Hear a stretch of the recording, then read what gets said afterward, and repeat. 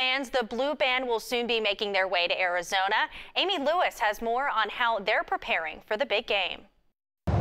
Two weeks of holiday break and now the Penn State Blue Band is back on campus doing what they do best. But they have a lot of training to do before they're Fiesta Bowl ready.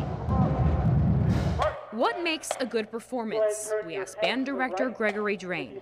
It takes hard work, dedication, and, and, uh, and lots of practice. We're always talking about, you know, what it means, the sacrifices that they have to make.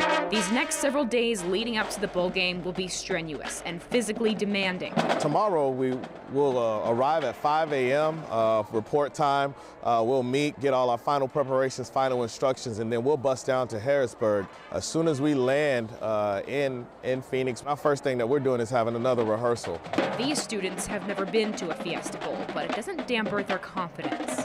We're going to a place where a lot of people don't know the Penn State traditions. So when we march on the field, we spell out lines, we do pregame, we do the flip, we do our halftime show.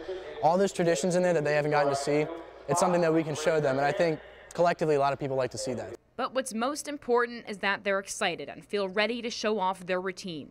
And even though it's on a, a different stage, a different field, different fans, uh, it's still the same old show. Every single time, we're getting better and better. They say going to a bowl game is always an honor. There's going to be millions of people who have never seen Penn State before, who've never experienced the Penn State Blue Band, who've never experienced Penn State football, and we want to make a great first impression on them as well. In University Park, Aimee Lewis, 6 News.